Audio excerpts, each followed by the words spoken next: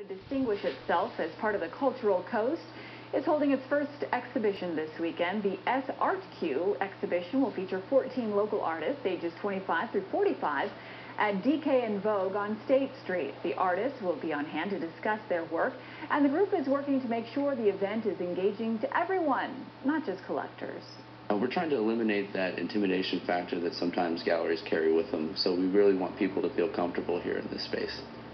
Kinds of multimedia pieces will be featured, and the event is free. The exhibition opens Friday at 5 and Saturday at 9. Coming up on